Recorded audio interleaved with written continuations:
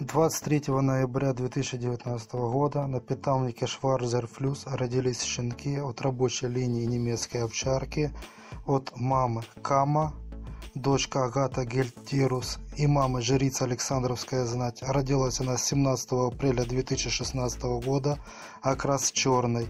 И от отца Пакс Ластхати родился 17 июля 2017 года, окрас черный от родителей Юка Ластхати и мама Омега Ластхати.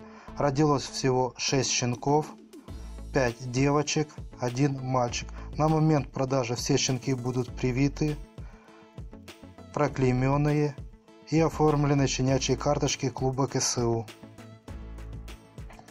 Все щенки черного окраса. На данный момент щенкам 31 день. Дополнительную информацию можно узнать по телефону который находится в описании к видео